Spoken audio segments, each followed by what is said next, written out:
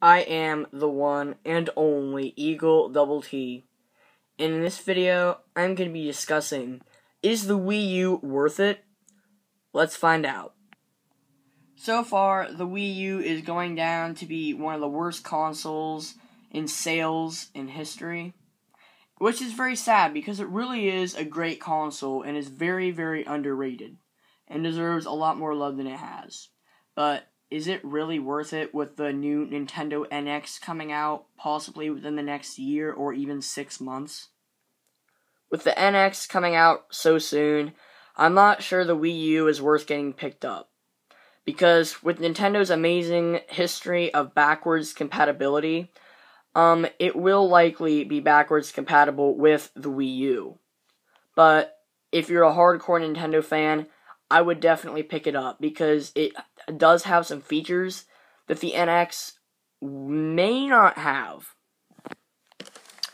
such as HDMI and AV.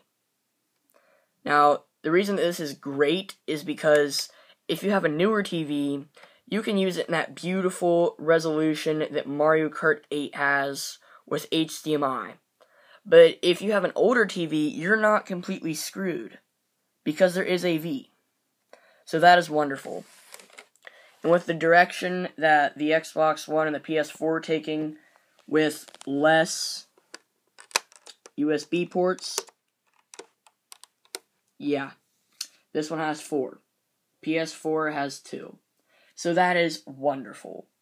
It's great being able to use um, flash drives and charge it and do everything, you know, all that great stuff.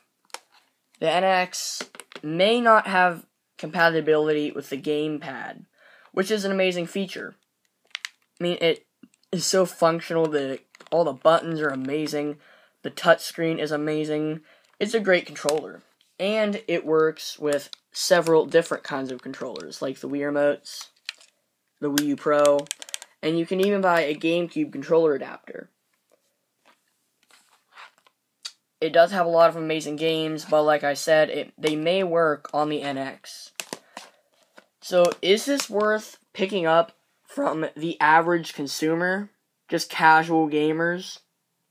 I would say not, because the NX is coming out and it may be backwards compatible.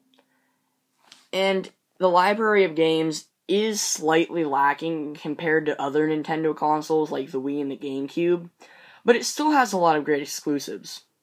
So, if you're just a casual gamer, I wouldn't really recommend picking it up.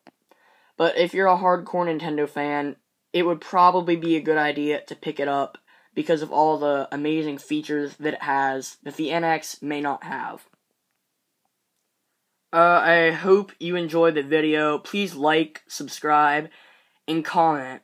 Comment if you have any video ideas for me. I am always open to suggestions.